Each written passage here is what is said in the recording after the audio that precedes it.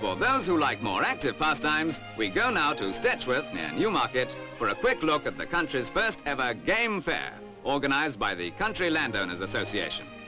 Here one can see a cross-section of traditional country activities and sports, while for the connoisseur, there's nothing more enjoyable than the gun dog trials.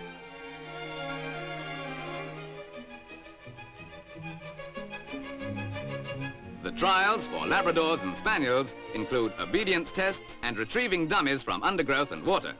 Of course, even in the best circles, things sometimes go wrong. After all, dogs are only human. However, with the honor of gun dogs at stake, the rest of the test is carried out faultlessly. Clay pigeon shooting, one of the most highly specialized of shooting events and needing the real Annie Oakley touch.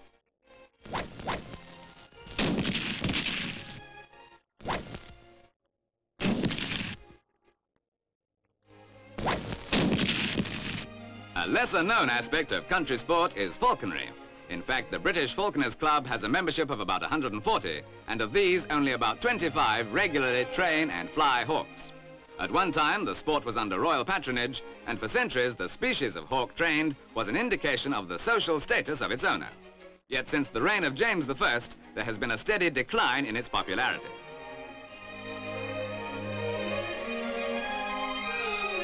The birds used in this display are peregrines, although if you're thinking of taking up the sport, it would be better to start with a kestrel. The reason for its small following is the amount of time and care one has to put in. But for those who do, the thrills and sense of achievement are ample reward.